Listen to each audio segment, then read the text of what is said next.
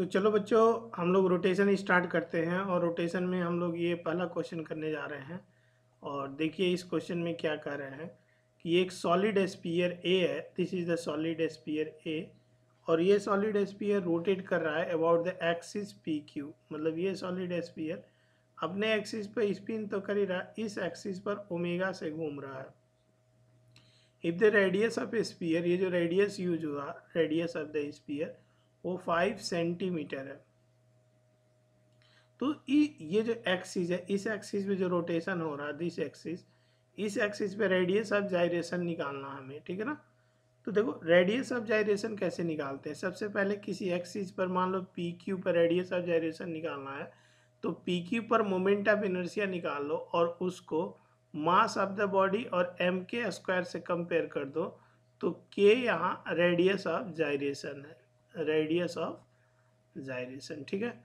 Radius of gyration निकालने के लिए किसी भी एक्सिस पे, जिस एक्सिस पे आप निकाल रहे हो, उसको एम के स्क्वायर से आपको कंपेयर कर देना है, ठीक है? तो अभी इस एक्सिस पर मोमेंट ऑफ़ एनर्जी जब एस्पियर खुद अपनी एक्सिस पर रोटेट करता था, ठीक है? तो अब देखो, उस पर मोमेंट ऑफ़ एनर्जिया कितनी होती थी? तो पैरेलल एक्सिस थ्योरम लगा दो कि moment of inertia about P Q to moment of inertia about centre of mass plus M D square is equal to M K square बड़े आराम से लिख सकते हैं। Moment of inertia would centre of mass मतलब इस axis पर। इस एक्सिस पर अगर अकेले रोटेट करता है तो सॉलिड एस्पियर है तो उसकी moment of inertia three by five कितनी होती है भाई?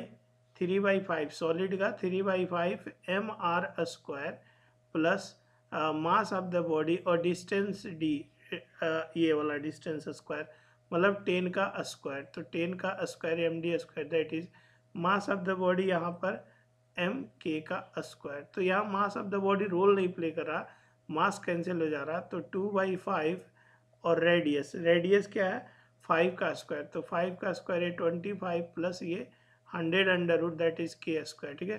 तो ये आ जाएगा फाइव टाइम्स इसे कट जाएगा तो one upon twenty five under root this is the radius of gyration तो अगर मैं इसे कंपेयर करता हूँ तो के की वैल्यू अंडर रूट एक्स तो एक्स इज़ इक्वल टू आ जाएगा वन ट्वेंटी फाइव कितना आ जाएगा ये?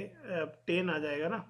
यहाँ से ये वाली जो वैल्यू है, वो टेन आ जाएगी। तो ये यहाँ से तुम देखोगे तो यहाँ से ये टेन हो गया तो वन हंड्रेड टेन तो रेडियस ऑफ़ जाइरेशन जो आ जाएगा, वो बेसिकली वन हंड्रेड टेन यहाँ से निकल के आ जाएगा। ठीक है?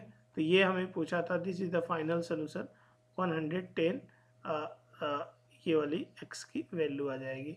तो आई होप कि ये क्वेश्चन क्लियर हो गया होगा बहुत बेहतर तरीके से। Thanks for watching this video bye bye take care